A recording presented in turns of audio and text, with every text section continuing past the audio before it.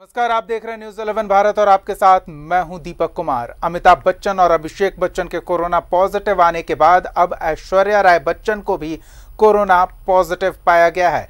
ऐश्वर्या राय बच्चन और उनकी बेटी आराध्या बच्चन के टेस्ट रिज़ल्ट पॉजिटिव आए हैं।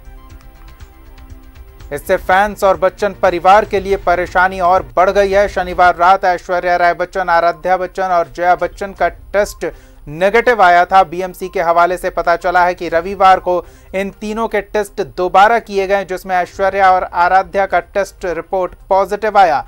जया बच्चन अभी भी कोरोना नेगेटिव हैं। रविवार सुबह अमिताभ के बंगले जलसा को बीएमसी ने सैनिटाइज किया।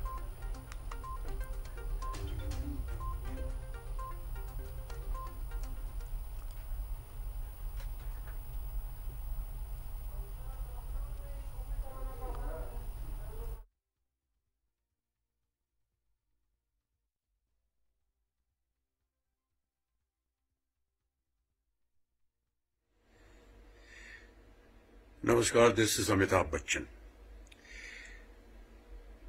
I am wanting to talk to all the doctors nurses and the staff at Nanavati hospital for their tremendous work that you are doing in these very trying circumstances अभी हाल ही में मैंने Twitter पे एक सूरत, गुजरात में सूरत में एक बिलबोर्ड लगा हुआ था, जिसमें लिखा था कि आपको मालूम है मंदिर क्यों बंद है? क्योंकि भगवान जो है सफ़ेद कोट पहनकर अस्पतालों में काम कर रहे हैं। आप जितने भी डॉक्टर्स, नर्सेस और जितने भी हॉस्पिटल्स में काम कर रहे हैं, आप सब में एक ईश्वर का रूप है। आप सब इतनी मेहनत के साथ इंसानियत के लिए काम कर रहे हैं आप। जीवनदायी बन गए हैं आप।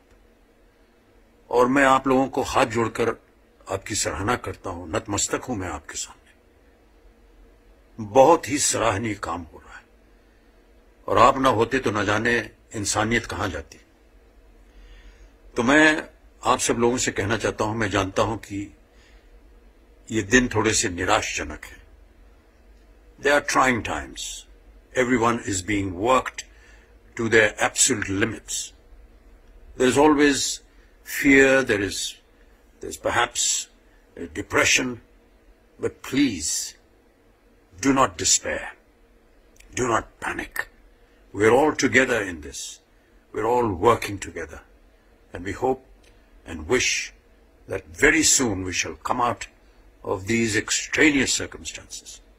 Thank you so much, Nanavati Hospital, and all the nurses and doctors and the the people that are working there, the staff at Nanavati Hospital. I have had a wonderful experience every time I have been to your facility. और मैं जानता हूँ कि आप का स्नेह आपका प्यार